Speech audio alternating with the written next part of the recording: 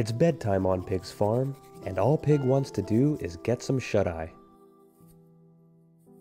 But the animals on the farm have different plans for the night. Quack, quack, honk. Ribbit, Bark, bark. coo, meow, neigh, Cluck, cluck, cluck. moo, Hiss. Will our fine coiffed pig ever get some sleep? Pick up a copy of What This Story Needs is a Hush and a Shush, put on your fuzzy slippers, and find out how Pig fares.